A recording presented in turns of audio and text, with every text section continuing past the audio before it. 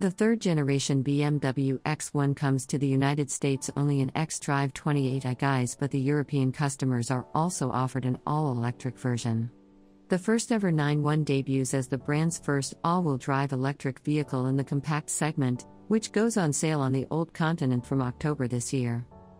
Available only in iX1 xDrive 30 trim for now, the zero emissions X1 can be differentiated from the combustion powered variants by its slightly modified front fascia. It features blue accents around the kidney grills and a modified lower section of the bumper. The same blue accents can be seen on the side below the doors, as well as at the back on the rear bumper. All in all, the iX1 looks almost exactly like the regular X1. What hides under the skin is completely different, though. The iX1 ditches the combustion engines for a purely electric powertrain with two electric motors, one for each axle. The combined output of the system is 313 horsepower, 230 kilowatts, and 364 pound-feet, 494 newton meters, making the iX1 one of the most powerful members of the third generation X1 family.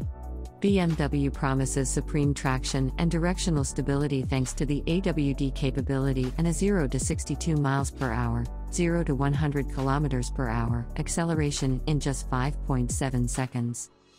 A 64.7 kilowatt hours battery mounted flat within the floor stores the electric energy, which should be enough for a range between 256 miles, 413 kilometers, and 272 miles, 438 kilometers, on a single charge.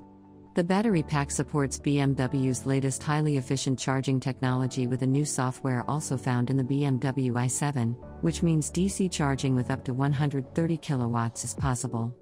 This means 70% of the battery can be recharged in 29 minutes. Alternatively, AC charging is possible with single and three phase electricity at a rate of up to 22 kilowatts. However, it's important to note that all output, performance, range, and charging figures are predicted values provided by BMW based on the iX1's current stage of development. A free 12 month subscription for Europe's Ionity charging network is confirmed, though. Don't forget to subscribe and hit like button.